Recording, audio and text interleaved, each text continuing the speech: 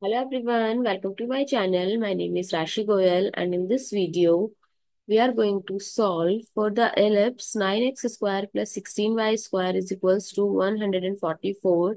We have to find the vertices, foci and eccentricity. So let's start with today's video solution. So first to find the vertices of ellipse, we are going to direct express this equation in standard form by dividing both sides by 144.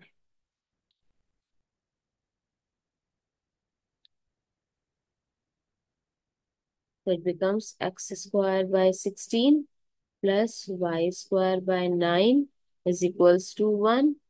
Now, we know that the denominator of x square is greater.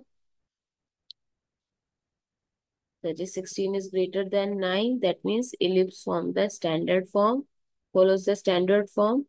So a square,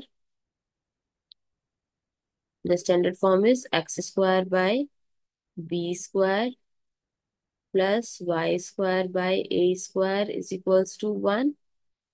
So a is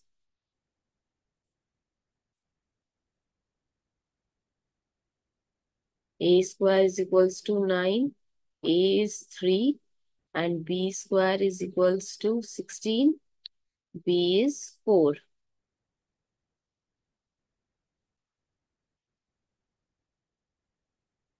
Now, since the ellipse is originated horizontally, so we are calculated h plus a comma k is 0 plus 3 comma 0. So that is 3 comma 0. This is the left vertices and right vertices is h minus a comma k 0 minus 3 comma 0 so that is minus 3 comma 0 so vertices are 3 comma 0 and minus 3 comma 0 now foci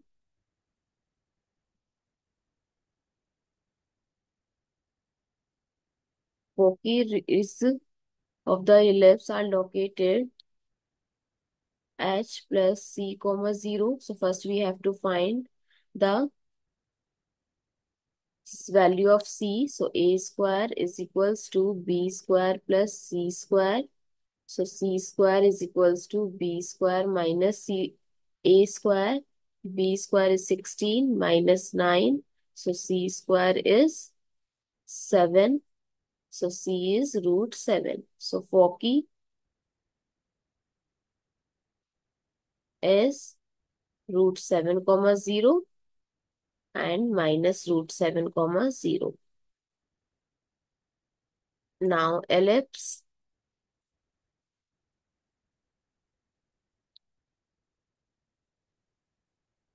eccentricity of this ellipse is